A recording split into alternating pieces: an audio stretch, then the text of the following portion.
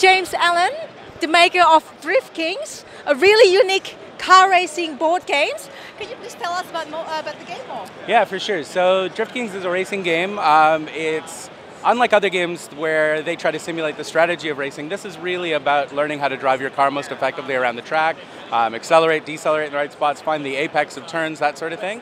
Um, so the game uses a really unique movement mechanic. Um, I'll just grab a couple of tiles.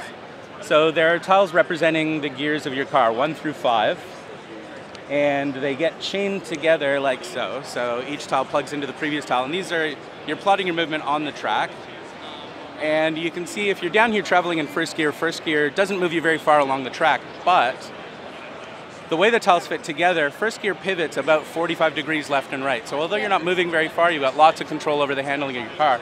If you're all the way up here in fifth gear, you're moving quite a ways along the track, but you can see it only pivots about three degrees either way. So you're moving as fast as possible. That is so realistic. Exactly, yeah, yeah. So it simulates the handling.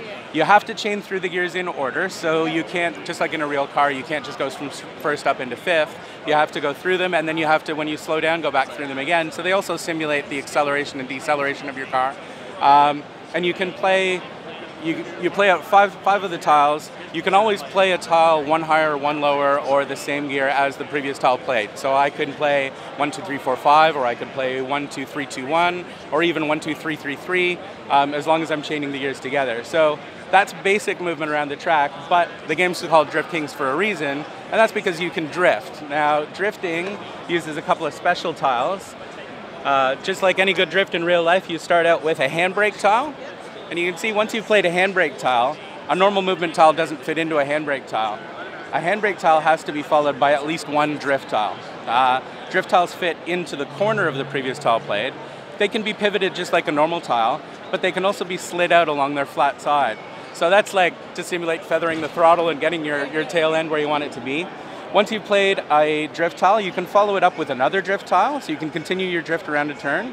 Same rules, it can be rotated and slid out along its flat side or you can follow it up with a normal tile. Uh, drift count is being in gear two, so you can come out in first, second, or third. Now, drifting is not necessarily the best way to make it around a turn. In fact, it actually slows you down through a turn just like in real life.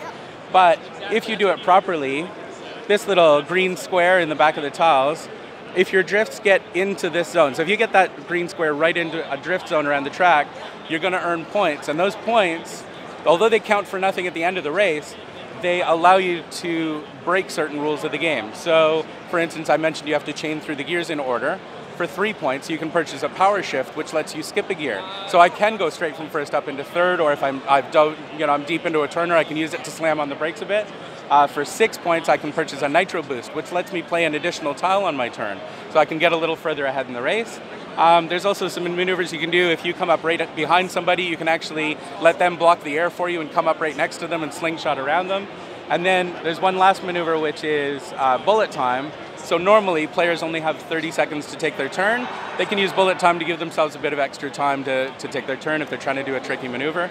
Um, so that's the, the whole race. The race is two laps around the track, although we're doing one lap demos today and uh, first across the finish line wins. If more than one player makes it across the finish line on the same turn, it's the person furthest across the finish line that wins. And there's a couple extra rules we're still playing around with with the ending to make it a bit more exciting. Um, the race kind of slows down into photo finish mode, and it's this edge towards the finish line. But uh, yeah, that's that's the game. That sounds very exciting. Thank so, you. how many players can play this game? Uh, so it's between two to four. Two to four, yeah. Um, and it actually plays fantastic at each of those levels. A two-player race is really a you know a battle around the track with each other. I can imagine. Yeah, yes. and a four-player race. At sometimes it's chaos, and you know people get left behind, but then they're right back into the race, and yeah, that's, it's that's a very unique game. Yeah, so um, when can we get our hands on this game? Uh, so at the moment, this game has been picked up by Good Games Publishing, uh, and they've given me first quarter of 2019. So early next year, you should be able to find the Kickstarter. Um, I, I, want to point out there's a number of components in the game easily lost, so I'm recommending maybe even pick up a second copy, just so you make sure that you've got enough.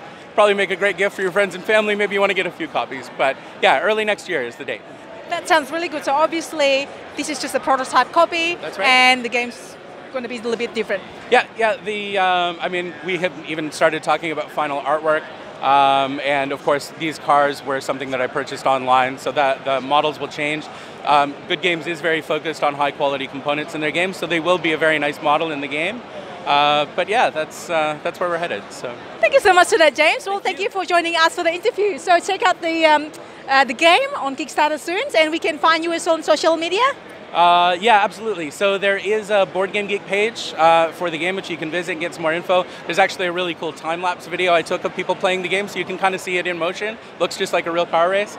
Um, and then, of course, if you go to Good Games Publishing website, sign up for their newsletter, you'll get an announcement once the Kickstarter's online. Everything sounds good. Thank you so much. Thank you. Thank you.